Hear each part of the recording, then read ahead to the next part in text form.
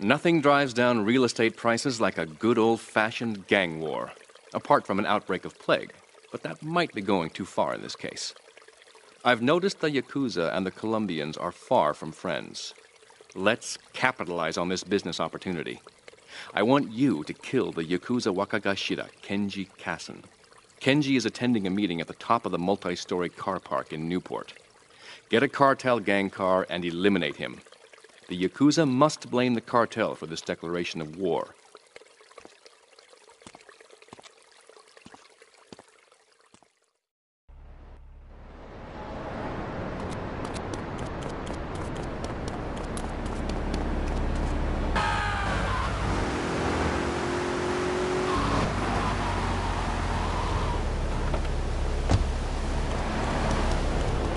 My!